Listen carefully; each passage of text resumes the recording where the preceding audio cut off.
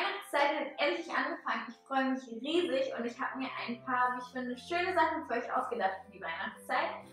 Und zwar ist es ja normalerweise so, dass ihr jeden Mittwoch hier auf diesem Kanal ein Video seht.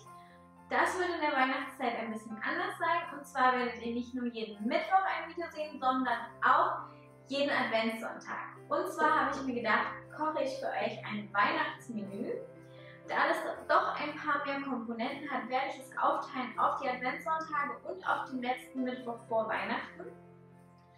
Ähm, und euch dann jedes Mal ein Stück des Menüs zeigen. Also es gibt eine Vorspeise, eine Hauptspeise und eine Nachspeise dabei, viele Beilagen, alles was dazugehört. Ich finde, es ist ein sehr traditionelles Menü, aber es sind einfach die Komponenten, die für mich Weihnachtszeit bedeuten und deswegen habe ich mir gedacht, teile ich sie mit euch.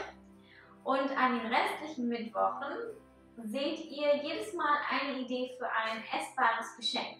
Das heißt, wir werden kochen, backen, Schokolade schmelzen, all die tollen Sachen. Und ich hoffe, ihr habt genauso viel Spaß dabei wie ich. Und wir sehen uns am vierten Advent nicht das letzte Mal, sondern wir sehen uns auch an Heiligabend an Silvester und natürlich am ersten Weihnachtsfeiertag, weil das ist ein Mittwoch.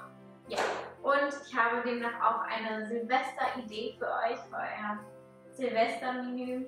Also bleibt gespannt. Ähm, bis dahin würde ich mich freuen, wenn ihr mir unten in den Kommentaren einfach mal schreibt, worauf ihr euch an Weihnachten am meisten freut. Sei es etwas Bestimmtes zu essen oder sei es, sei es bestimmte Aktivitäten. Ich würde mich total freuen, zu hören, worauf ihr euch am meisten freut.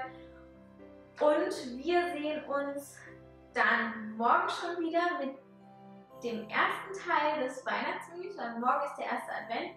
Und falls ihr es nachmacht, würde ich mich riesig freuen, wenn ihr mir davon Fotos zeigt.